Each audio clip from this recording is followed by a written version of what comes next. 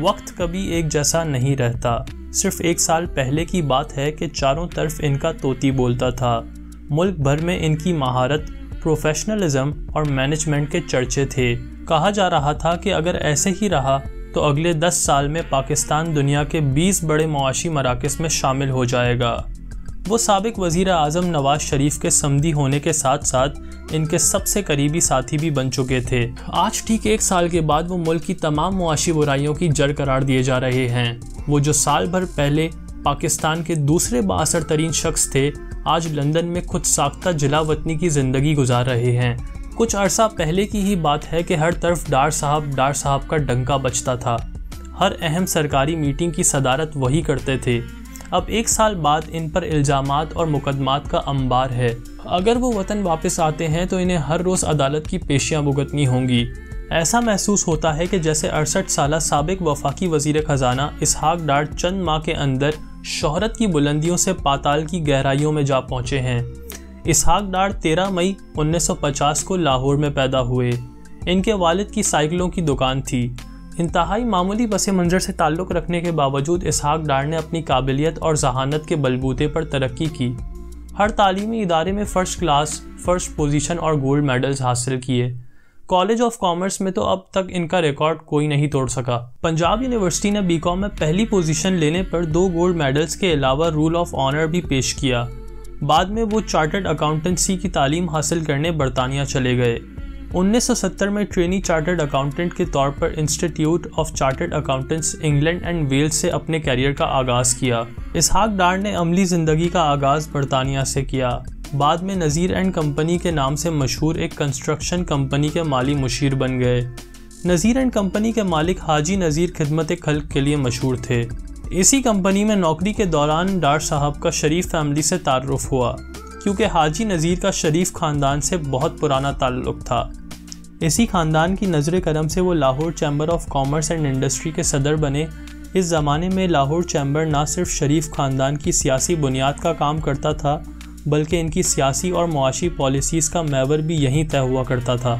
اسحاق ڈار نے باقاعدہ سیاست کا آغاز انیس سو ترانوے میں بطور رکن قومی اسمبلی کیا۔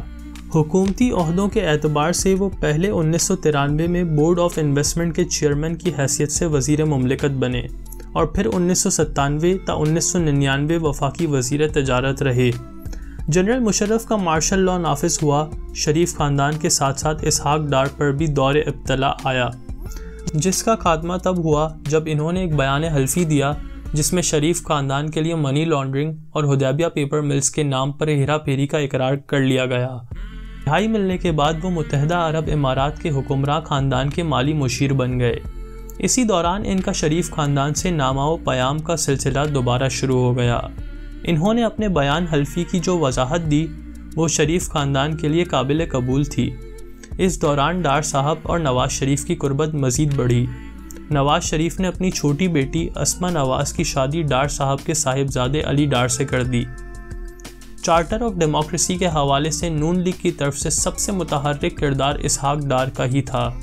میاں نواز شریف کی وطن واپسی ہوئی تو ڈار صاحب نے شریف خاندان کی جوڑی نواز شریف اور شہباز شریف کا تیسرا حصہ بن کر اس جوڑی کو تکون میں تبدیل کر دیا۔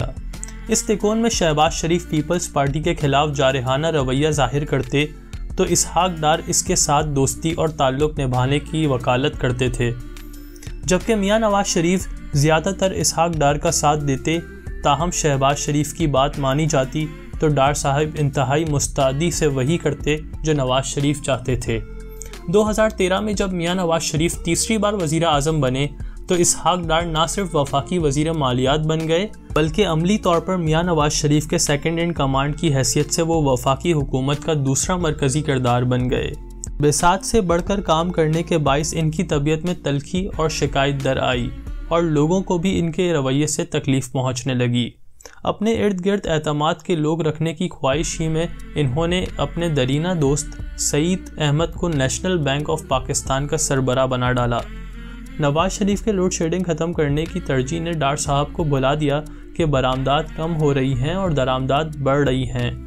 ادائیگیوں کے توازن اور قرضوں کے بوجھ نے بھی مشکلات پیدا کرنی شروع کر دیں۔ مگر اسحاق ڈار ڈالر کی قیمت کو کنٹرول کر کے معیشت کو کسی نہ کسی طرح ہینڈل کرتے رہے۔ ان کے بیرون ملک جانے سے پہلے تک پاکستانی معیشت کی کمزوری کا بھیت کسی کو معلوم نہ تھا۔ زندگی کے نشیب و فراز سے گزرنے والے اکثر لوگ بڑی پیچیدہ شخصیت کے حامل ہو جاتے ہیں۔ عام طور پر ان کی نفسیات کو سمجھنا کافی مشکل ہوتا ہے۔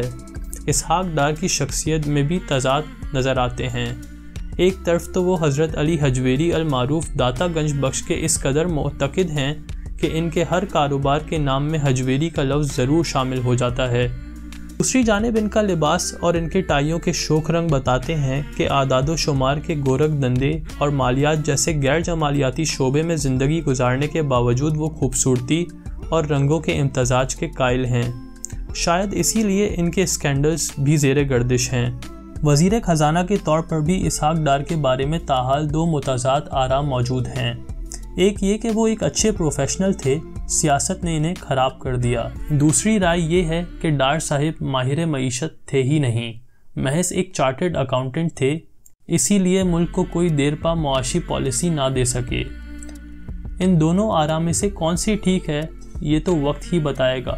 لیکن ابھی شاید وہ وقت آیا نہیں، کیونکہ تاریخ اپنا فیصلہ ذرا تاخیر سے سناتی ہے۔